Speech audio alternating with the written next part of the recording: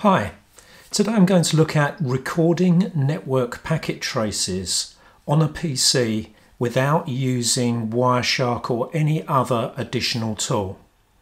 Now it's a, a little known fact or certainly I find that uh, very few people realise that Windows comes with a packet capture mechanism and that mechanism is part of the NetShell environment.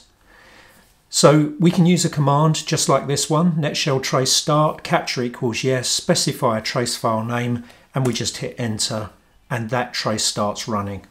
Now I haven't added anything to my Windows setup, this is just a standard Windows 7 machine and it also works on Windows 10. So let's now do a few things in uh, some, generate some traffic. Okay, that should be enough. Now we stop the trace with a very simple command, netshell trace stop. Now this command takes some time to run, so don't be put off if it takes literally minutes to run. Okay, Netshell has completed its work, so let's go and have a look at the file you can see that we have a file called mytrace.etl and we also have this accompanying um, cabinet file. I'll look at that on another occasion, but uh, today I just want to uh, focus on the um, ETL file here, which is actually the packet capture trace. So unfortunately, this trace will not open directly in Wireshark. Wireshark doesn't um, support this format of trace. That gives us a few options. The first one is to use Microsoft Message Analyzer. And we can simply take this file, drag and drop it into Message Analyzer and it opens quite normally in Message Analyzer and you can see by the uh, summary information here that we definitely have a network uh, packet capture and uh, we see lots of other types of entries in here as well. Okay, so that's one way we can do this, but what if we want to now go on to explore this in Wireshark? Well, in theory, we can export the file. So we can export it into a .cap format, which is supported by Wireshark.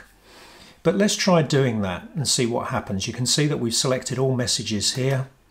We export, it's going to export it as a .cap trace. Now let's go back into here. And sure enough we have a .cap trace file. And if I try and open that in Wireshark you can see we get nothing. And in the statistics uh, properties uh, panel you can see that it appears that we haven't captured any packets.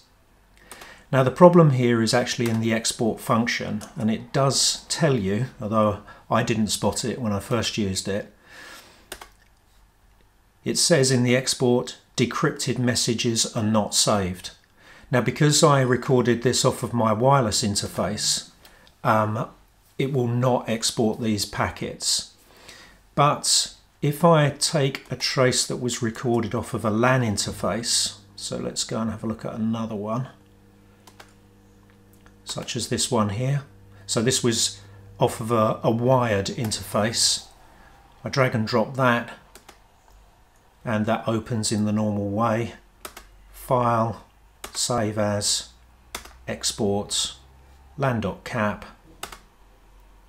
save that. You can see it's doing more because it's actually taking more time to do it.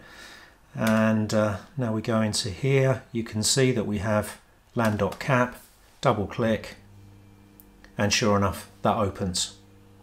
So if you've got a trace that's captured off of a wired interface, that will work okay. If it's captured off of a wireless interface, it probably won't work. Okay, so let's look at some alternatives. One thing we can do is we can use Workbench. So if I add a file into this file set, I pick my file that I, I created just now. And now if I drag and drop that onto the workpad, I take uh, Wireshark, drag and drop that onto the file, it opens. But there is a problem. You can see that actually we only see traffic going outbound from my PC to other devices. All of the inbound traffic only decrypts up to the 802.11 header and then everything that follows is actually not uh, decoded. So this is because the 802.1 header has a flag in it that claims that the header includes WEP information and you can see that it's tried to interpret WEP parameters down here but in fact this is actually the um, uh, the LLC uh, header the next header up in the uh, packet and so the problem is that although the flag is set in the header um, it's stripped off before it arrives actually at the capture mechanism now, good old Wireshark knows exactly how to deal with this situation. So what we do is right click here, go into protocol preferences, ignore the protection bit, yes without IV, and sure enough, now we see all of the data. And of course I can leave that, that preference setting active all of the time.